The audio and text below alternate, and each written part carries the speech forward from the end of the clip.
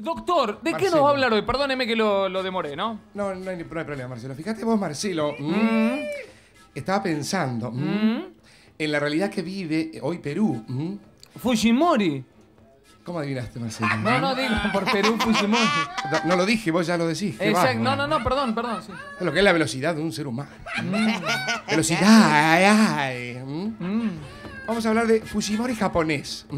mm. Vamos a desglosar y vamos a encontrar a Fu por un lado, que quiere decir primer sílaba del nombre japonés más famoso de la historia, ¿m? Fu Manchu.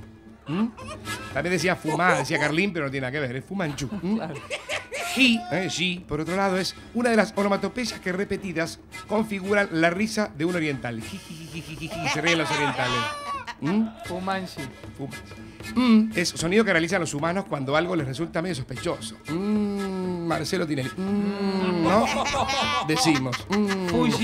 Mm. Ori, mm, sigla japonesa que significa Honorable Consejo de Identificación. mm. Ah, HAP, sin la I, HAP es visa en japonés. Visa mm. en japonés. Claro, para viajar. mm, Correcto. Y on en inglés es sobre, encima.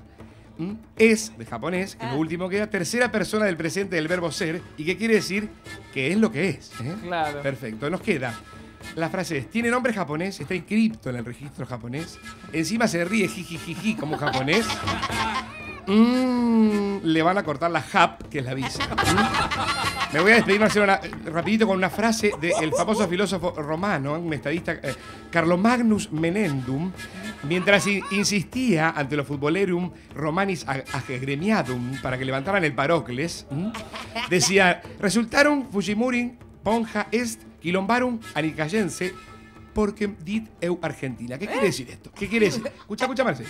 Resulta que Fujimori es japonés y a mí me critican porque siempre digo yo argentino. Muy bien. Gracias, doctor. Buenas noches, Nos Marcelo. vemos el próximo lunes. ¿eh?